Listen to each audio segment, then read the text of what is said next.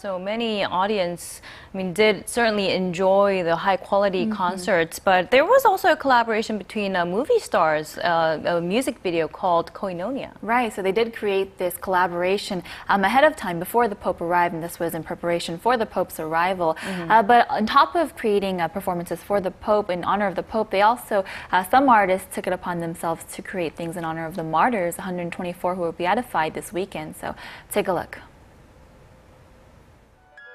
Early Saturday, Pope Francis made his way to Gwanghwamun Square for the long-anticipated beatification ceremony. Another artist to contribute to the Pope's visit is pianist Paik Kun-woo.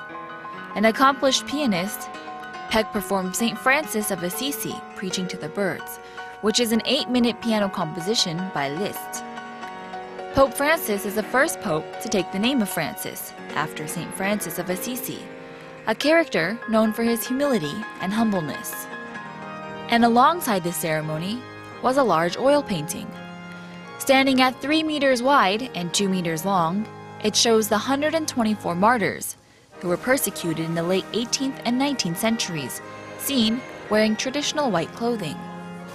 In their hands, they each hold a palm branch, a cross, and a lily, symbols of victory, martyrdom, and chastity in Catholicism. Of the 124, 100 were men and 24 were women. They included Anastasia Lee Bong-geum, the youngest martyr, aged only 12 at the time of her execution in 1839. She's seen holding a bunch of lilies and the Rose of Sharon, Korea's national flower.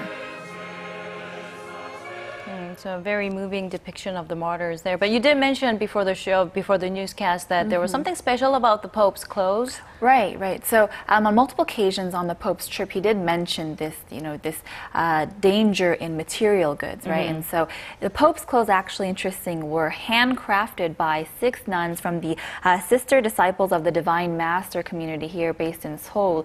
And so they took it upon themselves over four months. They hand stitched each one of his robes that he wore for the beatification ceremony mm -hmm. and the mass held on Friday. So very special. You know, those in themselves are artworks. Mm -hmm. And you said there were certain skills and uh, mm -hmm. requirements that need to right. be made um, in order for them to have the the finalized clothes mm -hmm. or the robe. Mm -hmm. So people were really saying his clothes kind of uh, conveyed the Pope, you know, what he stands for. It's a very simplistic stance, a very simplistic robe, um, but beautiful. And so the nuns really displayed artistic talent there. They also created a statue of the Virgin Mary and the infant baby Jesus um, wearing Korean traditional clothes. And so that was an interesting statue that they did post um, on the altar during the beatification ceremony. So mm -hmm. some beautiful artworks to contribute, you know, to the culture of Korea now. Mm-hmm. Uh, the Pope has left, but his uh, what he yes. left for us should uh, linger. Exactly. All right. Thank you very much, Uni, for today's report. A pleasure.